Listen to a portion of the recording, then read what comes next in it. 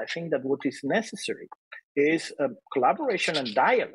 That's true, but not, not necessarily via opaque agreements, but uh, collaboration and dialogue between the tech sector and the infrastructure sector so that uh, a more efficient use of the networks can be can can be made.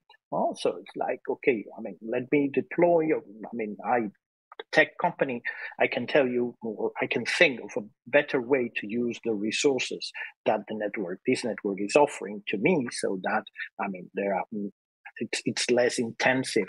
The, the use that I make in terms of traffic is less intensive. So there are ways uh, to kind of push for the collaboration between big tech and telecom in order to have better more efficient networks um, and at the end of the day this is something of the interest of the of the final consumers. We need to think I mean, these are the main the main actors here.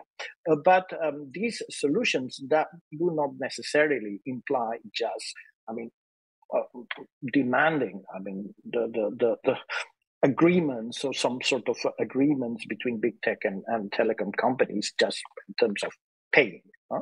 So we need, I think that uh, we need to be a little bit more sophisticated when it comes to thinking about uh, solutions uh, to foster a, a, better use and a more efficient use of infrastructure for a better provision of content and application and other services.